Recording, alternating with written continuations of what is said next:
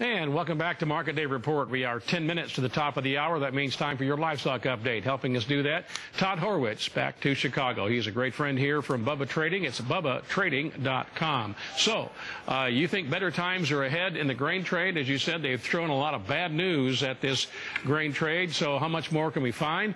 Big crops get bigger. They already know that. Livestock trade. They've been throwing a lot of bad news at the livestock demand news at the livestock trade here. It's reacting uh, down. Are we at a point where there's not a lot of new, fresh, negative news to push this market lower from here.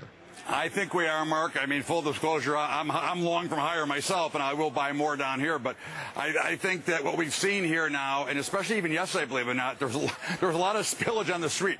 A lot of a lot of nervous people saying that they're never going up again, which is obviously it's a great sign if you own them or you're looking to buy them. Because once people start to throw in the towel, okay, I, I used the term once today, so I won't use it again. But once they start to use the air stick bag, that's usually a nice sign of a bottom. And I think we saw a little bit of a turnaround. You know, I looked up this morning. Uh, the live cattle was down about a buck or more, and, mm -hmm. and feeders are down almost three. And now we've turned around from here. And again, I don't want to see a repeat of last Tuesday. I want to see it hold here. I thought that on Friday we saw that blow off bottom. I think it finished this morning on the opening, and now I want to see it steady as she goes. I don't want to see a limit up move from here. I want to see the markets work them very slowly, building a base all the way along so that we can see these go back up into you know much bigger numbers. And I think we you know we can get to 114 or 115 in the fat, so we can get to one, you know, 145 or 150 in the feeders. But I don't want to see it immediately. Obviously, we won't get there that fast, but I, I want to see them work their way up where we get a true supply-demand model, and we're really seeing the overall demand, not the short covering, trying to get it to get it the speculators up. Yeah, and, you, people say, well, why is that? Well, they they, uh, they, if they spike higher, they're going to go back eventually and fill that gap. Is that right?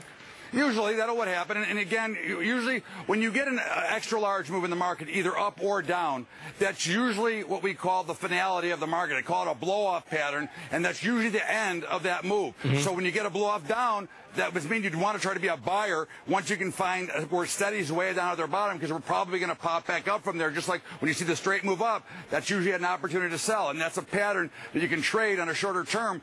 But when you look at it, those are never good for the long-term holder. They create more grief. And typically that'll mean it's going to go farther the other way than you thought it was going to go once it makes its mind up. Right, good. Now, how does that change when you take a look at from the uh, live, the cattle and feeder cattle trade to the hog complex? How, do the, how does that verbiage change at all?